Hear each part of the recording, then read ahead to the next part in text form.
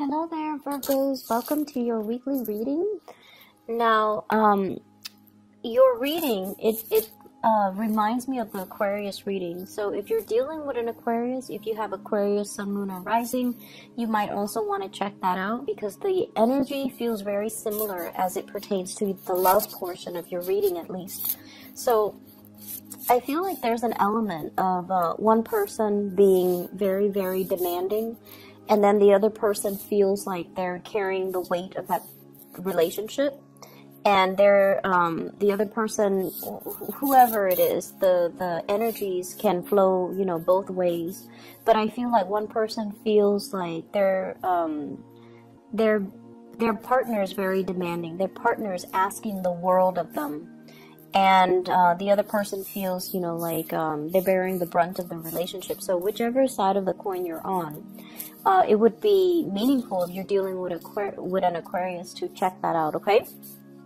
So, um, the messages that I'm getting um, through both of these spreads for you is um, I feel like, you know, a, a lot of you are um, no longer bound to unhealthy relationships a lot of you are choosing to release release control in a situation release partners release tension release conflict and also to kind of um, let your partner be. That that's what i'm feeling. Let them get where they need to be before they can be a good relationship partner for you to invest in and then I'm see, seeing this energy here is if a, if a situation has been so conflictual, if a situation has been so contentious, then you don't want to get involved in it because you know in your hearts of hearts that that's the universe's um, way of telling you that you're barking up the wrong tree, that this isn't the right relationship partner for you,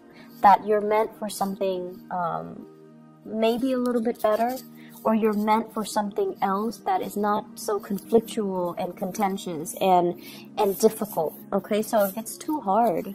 A lot of the times you know uh, virgos you pride yourself in your ability to solve problems your ability to um, take care of things take care of situations take care of people and take care of uh, especially to solve problems when where other people have given up for you, there's honor and uh, loyalty in that.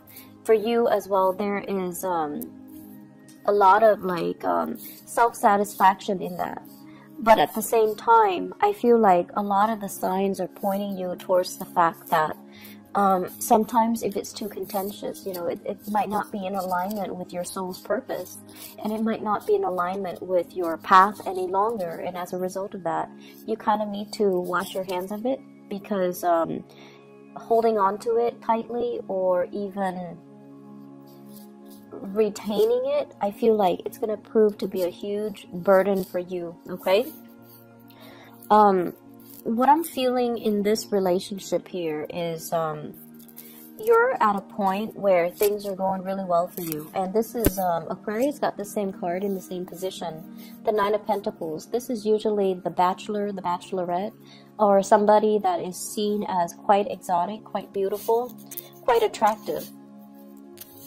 And because this is the energy that you bring to the relationship or you bring to, to your environment, this is you having a lot of financial abundance things are going really well for yourself. You don't need another person to take care of you. You're very independent. You enjoy your company. You enjoy, you know, walks outside in nature. You enjoy to spend your time uh, with, you know, really embracing your life and loving your life and enjoying what life has to offer. You have friends around you. You have uh, family members, and these are the, the kind of like the core pillars of your world work is going well, finances are going well. You know, you have people around you that appreciate you and you're desirable. Not only that, you're comfortable being in your own skin. You're comfortable with the simple things in life. And so the relationships, yes, it's nice if it's there. If not, you're not going to cry over it.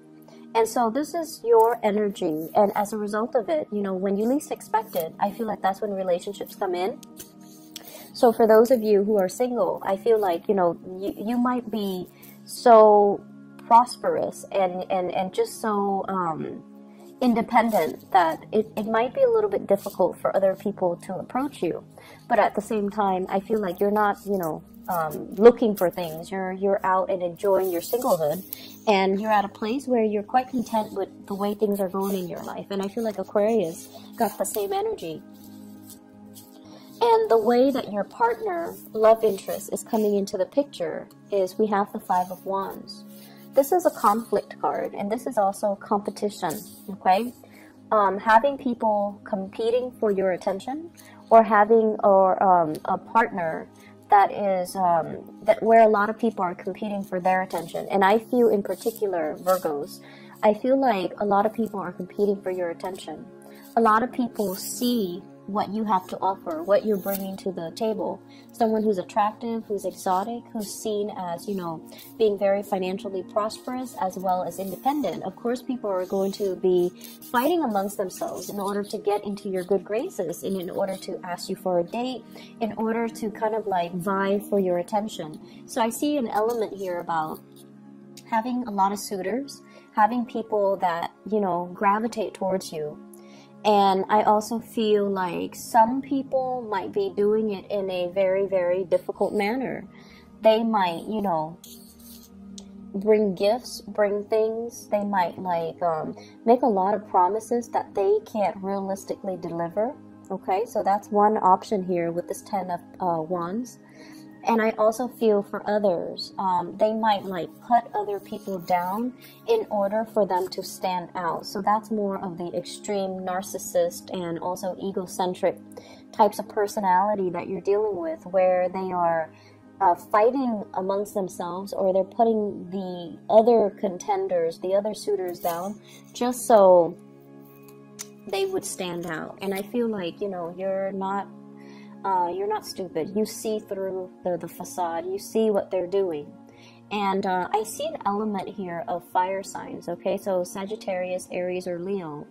Um, the really, really alpha male, alpha female types of energy that wants to dominate, that wants to control, that wants to stand out, that wants to like win uh, win you and, and, and they see you more as like a possession, a prize, rather than something that, you know, like a human being. They, they, they see you as more of like uh, the end goal. And they don't really see you as the person that you are, as an individual, and they might not uh, appreciate everything that you have to offer. Um, if you're dealing with a fire sign who's not like this, then I definitely feel there is conflict, okay? There's um, conflict here about how much time are you giving to me? Are you constantly at work carrying this heavy burden? Um, is the distribution of the investment in the relationship fair? Um, there's a sense of estrangement. I, I feel like they need more attention from you. They need more help. They feel like you're a little bit distracted and they need you to kind of like get your head out of the clouds and really focus on the relationship, um, what they're doing, what they're bringing to the table. And at times, you know, I feel like they're putting in a lot of the work and they need you to chip in. They need you to be uh, emotionally available. So if you're at a distance from them, they're kind of struggling alone and they feel very much alone and they, they, they feel like even though we're in a relationship, it seems like you're not doing your fair share. It feels like I'm alone carrying this burden and I've got these rain clouds over my head and they're not clearing up. So, is there any way that you can reach out and help me? So, I, I almost feel like um, they see you as distracted, they see you as frivolous, and these are not characteristics that I normally attribute to Virgos. But I feel like with Virgos, um, it seems as if there might be some type of um, relationship partner that you've had a lot of arguments with and there's stubbornness there's pride get that gets in the way. So you might tell them to do one thing and they're like no no no no i'm going to do it my way. And their way is not usually the the easy or the most you know streamlined or the most efficient way because you know you're one of the the most efficient signs of the zodiac. You get things done. You have your own system set up, and no one can outcompete you when it comes to productivity, when it comes to you know the finding the best practices, finding the shortest route to get like the best optimal outcome. You're very good at it, and you tell them time and time again, you know, you're doing it the hard way. Here's a better way, but of course they're not going to listen. So I feel like you're dealing with someone who's got a, a lot of pride who might also have a big ego, who might also just be very stubborn and they want to go about it their own way, okay? And so it has created a lot of conflict in the relationship because of this lack of agreement with the Five of Wands here. And you're at a point where, you know, they're stubborn they're going to do their own thing so i'm not going to give it any mind because if i if i constantly try to help them and they keep resisting uh, it's going to drive me nuts and i'm going to become resentful. So i'm going to focus on me. So i feel like you're drawing back your energy but at the same time your partner is still drudging on and feeling very isolated right? So that's what pride does. It isolates you from other people and then I feel like for others of you who um, are dealing with another person over on this side, we do have the devil, which is uh, somebody engaging in unhealthy habits, unhealthy ways of doing, unhealthy behaviors, as well as the Eight of Cups here. So I feel like a partner has trying to move on from you know their their past patterns okay? So if there has been a lot of conflict they're trying to move away from that. They're trying to steer the relationship into more of a positive light. At the same time if there has been a lot of conflict in one of your relationships and you feel like you're putting in all the work then I feel like you're going to cut your losses and you're going to try to move on as well. So, this Eight of Cups is about a situation that we invested a lot of time, a lot of resources, a lot of love, emotions, energy, um, at the expense of our well-being. It might be something that have lasted, you know, eight months, eight years, um, eight weeks, even two months' time, for example. And I feel like you understand the toxicity behind it. You understand that it's a carnal desire type of a relationship. And you also understand that it masks a lot of problems, okay? So, like, the physical attraction is there, the chemistry is there, but what you see on the surface is, is is not really the reality and it's a situation that can keep you very stuck or it's a way of doing or it's a behavioral trait of the other person that you deem is not very positive is not very enriching to your life and vibrationally speaking you're at a point where things are going really really well for yourself. You don't want to be dragged down with other people's problems and drama and um, inadequacies i feel. So you're you might be dealing with a partner that you're that you're going to be walking away from very very shortly mainly because you don't want to be dragged down when you're at this space where you're not very tolerant of people and their immaturities. And i also feel like walking away from things before you become too heavily invested, that's just a smart way for you to do things. It takes a really long time for earth signs and especially Virgo and people to fall in love and to, you know, give your all. When you do, you do give your all. But I feel like it does take a long time. Even if you're dating somebody for like a, you know, a month, you still have that checklist you know, are they on good behavior every day? Are there new things I'm finding out about them? Do I like everything I'm finding out or do I not like most of the things I'm finding out? So that, you know, balance sheet, that checklist, it goes on and on and it happens every day. And then, you know, like because you are so practical and pragmatic when it comes to dating, you have this internal checklist that you're assessing, you're grading somebody by every day. And I feel like, you know, it can be three months into the relationship when it's that honeymoon stage, right? Like the first three months. Um, and the other person might be head over heels in love with you. But I feel like with you guys, you guys are still pragmatic and, and occasionally you check that, that list. And I feel like you can withdraw and pull back your energy anytime. Anytime whereas the other person might already be head over heels in love with you. And i feel like this is what you're doing. This is like indicative of a very early stage of a relationship where you're still finding out a lot about a person.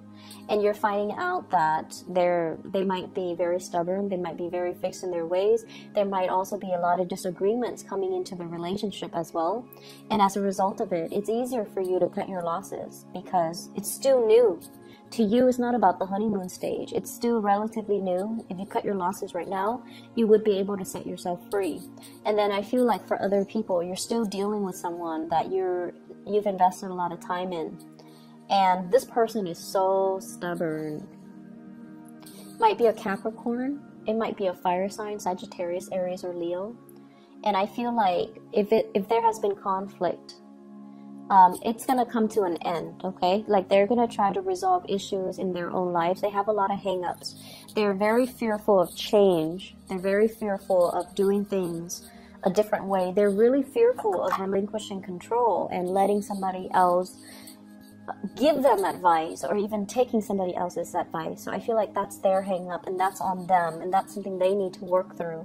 And I feel like you are aware of that. You know your partner well and so you're going to focus on you. You're going to focus on what you need to do, your own path, and let them kind of deal with this internal term, internal conflict, internal turmoil that they kind of need to sift through and find themselves. And they are going to find themselves. It's going to take some time because they're so stubborn and because they're so like doggedly just this isn't the smart way to do things, but I'm to do it because I'm stubborn. I'm to do it just to test myself. So I feel like you've got somebody here that's um, not as reasonable, but they're hard on themselves as well. And I feel like a big part of you can sympathize with that, right?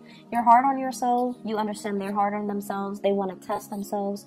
They want to know their limits and their capabilities. And I feel like you can appreciate that. And so you're going to let them be. So you're going to detach yourself a little bit um, I see coming back together, but at the same time, I do see arguments as well.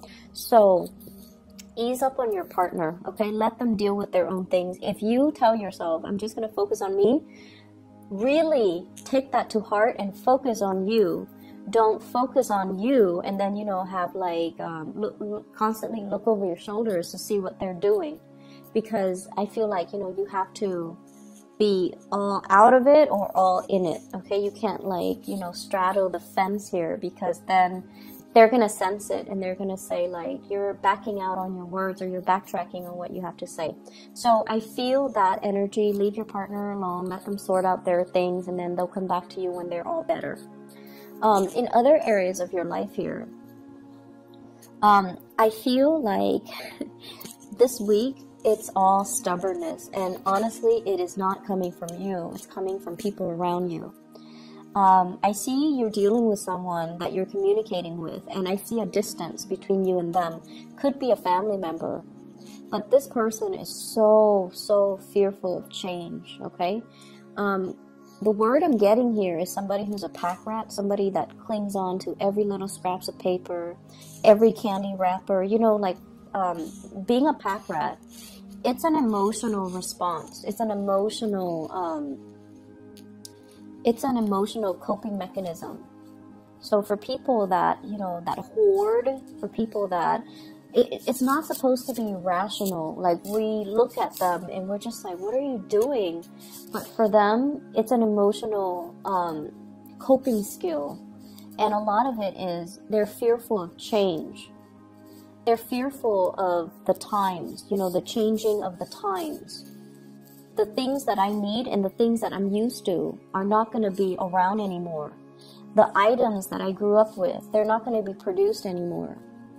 So I need to cling on to multiple copies of these things or multiple packages or, you know, whatever it is. It's not supposed to be rational. Some people collect candy wrappers, some plastic bags, some paper bags, whatever it is. I feel like they're hoarding because they feel this innate sense of emotional lack in their own lives. They can be, you know, very financially insecure. And so they cling on to these things that people discard because they feel like if they if I fill up my house with scraps of things, then I'm wealthy. So it, it, it can be like as uh, problematic as that, or you know, on the other end, it's just a coping mechanism for some of these people. So I feel like you're dealing with someone who is like that. You're also dealing with people who are very, very resistant to change. They're a very tunnel vision. They see things in a very specific way and they refuse to see things outside of their worldview.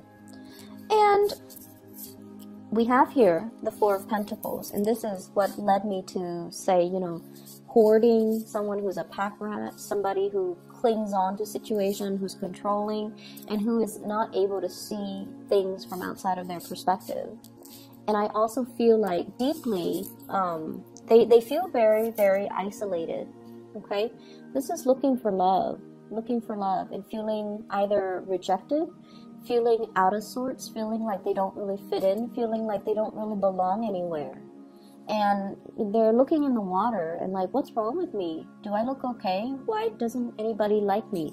So for some of you you might be dealing with people that have a lot of deep internal emotional issues and you're providing the kind of like the analysis the, the assessment or you're providing some type of a breakthrough therapeutic um, you know type of a some type of a therapeutic breakthrough, excuse me, for them. You're kind of allowing them to lift the veil and to see reality for what it is. And to see, like, you know, if you're so, like, clingy and controlling, it's going to be really hard to love you. Okay? And then some people you might notice they feel that control is about love. You know, I love you, so I'm going to tell you not to do this and do that instead because I want what's best for you. We can't really infringe upon other people's free will. We can advise them, but we cannot prevent them from doing what it is that their heart desires because it is their path in life, it is their destiny to live to their full potential and exercise their free will if this is an energy that is manifesting within you where you're trying to control other people and telling tell them what to do and kind of like run their lives for them you need to check yourself. Because i feel like there is going to be um, you know the the rebelliousness okay? So whatever you're hoping to prevent like I, I want what's best for you so you cannot do this you have to do that. And i feel like over time it's uh, it's going to create resentment. It's going to create a backlash as well. So you want to be very careful about you know not infringing upon other people's um, free will. So I, I see that element here, and I feel like for most of you, you have enough self-awareness to know that you know you're not on the giving side of this energy.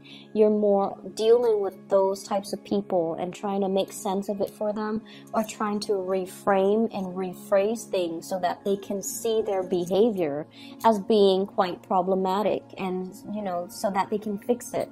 So i feel like you're bringing clarity to a situation where there's a lot of fog for the other person and I also feel there are opportunities here for travel. And this is a little bit more like things that are planned, you know, two months in advance, two weeks in advance. And I feel like they're not like long, long, long term travel, but I feel like there is an, an energy of expansiveness about it, okay? So this is like the invisible hands around, be, working behind the scenes to facilitate travel, to ease travel, or to allow things to kind of culminate and come into the picture for you.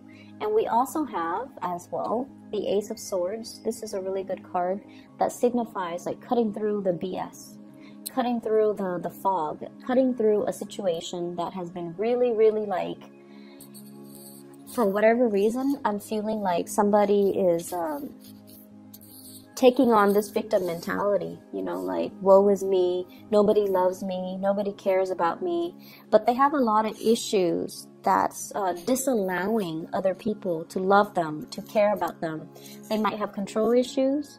They might be so selfish that they drive away people that they love, for example and you're providing the clarity. You're not going to say, like, you're selfish, that's why people don't love you.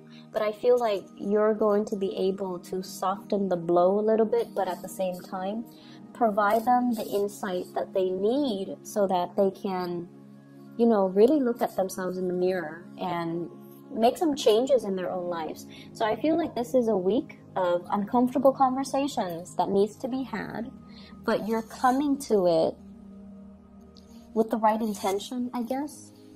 And because of that, you're going to be able to splice through the problem. You're going to be able to provide really good insights, really good assessment, really good um, counsel, and you know therapeutic breakthroughs for other people.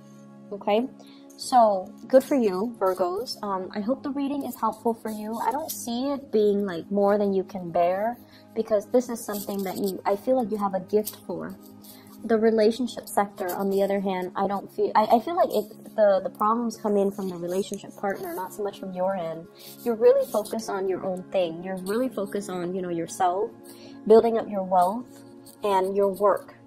And i feel like that's where you're really thriving okay? So best of luck with everything. I'll come back next week and i'll talk to you guys uh, more then okay? Take care